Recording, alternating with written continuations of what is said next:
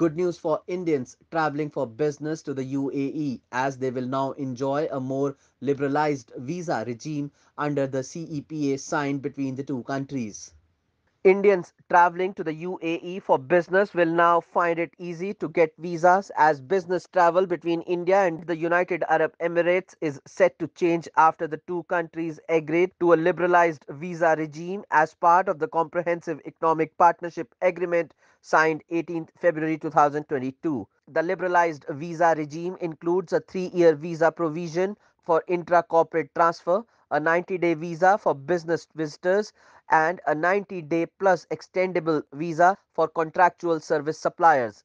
CEPA will reduce import duties on the majority of Indian exports to the UAE.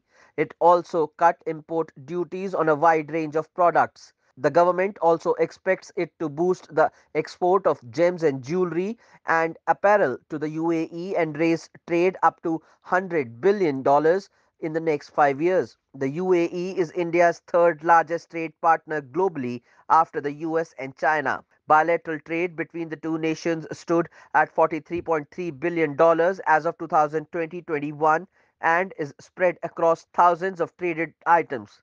In 2019-20, the pre-pandemic year, trade between the two countries was estimated at $59 billion. The UAE is also home to 350,000 Indian origin persons. The CEPA is expected to come into effect by the first week of May since the process will take about 60 days. During that time, a series of business interactions will be held across India between businesses from both sides. For India, the deal will benefit exports of gems and jewelry, textiles, leather, footwear, sports goods, plastics, furniture, agri goods, pharma, medical devices, automobiles, and engineering goods.